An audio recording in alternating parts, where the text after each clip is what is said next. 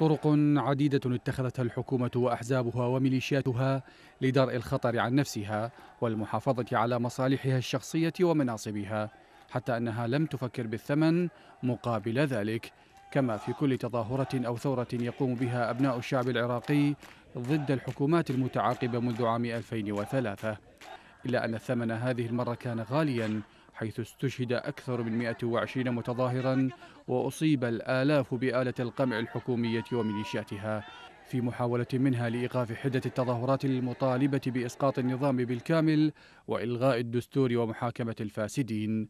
فبينما كانت عمليات القمع الوحشي مستمرة باستخدام القوة المميتة لفض التظاهرات السلمية واصل المستوى السياسي في العراق من رئاسة وبرلمان وحكومة إطلاق وعود كاذبة بتلبية مطالب المتظاهرين. لدينا مشروع سنقدمه خلال الفترة القصيرة القادمة إلى مجلس الوزراء لمنح راتب لكل عائلة لا تمتلك دخلا كافيا.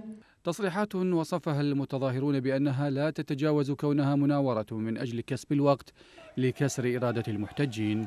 ولعل ارتفاع أعداد الشهداء والجرحى من المتظاهرين وتراكم الأدلة على تورط القوات الحكومية في عمليات القمع والقتل يجعل من المستحيل الوثوق بأي رواية رسمية للأحداث أو بالوعود الجوفاء التي تطلقها الطغمة السياسية. لا شرعية لأي عملية سياسية أو نظام سياسي لا يعمل على تحقيق متطلباتكم وتطلعاتكم في وطن كريم.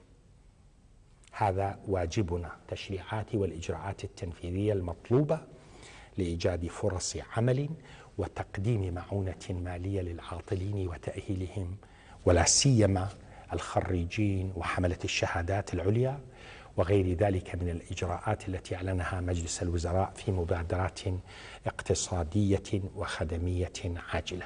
بالشكوك استقبلت الوعود الحكومية بزيادة الإنفاق وفتح أبواب التوظيف وغيرها. لا سيما في ظل ضعف الأجهزة الحكومية وانتشار الفساد.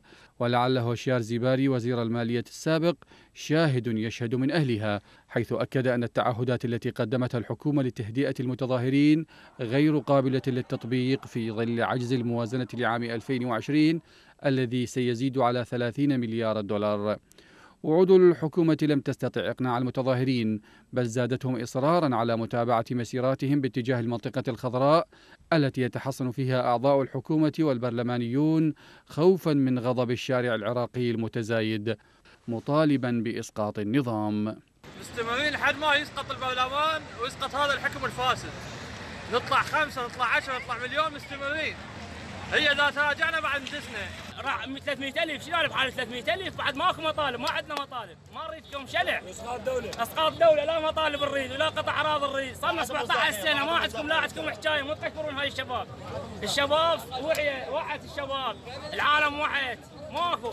منا إن شاء الله وانتظروا الشعب إلى ثورة إن شاء الله يطلع عليكم من الخضراء وهكذا يترك المتظاهرون مطالب سنوات مضت بتوفير الخدمات الأساسية والحصول على فرص عمل وغيرها ليركز مطالبه في إسقاط النظام الحاكم في العراق.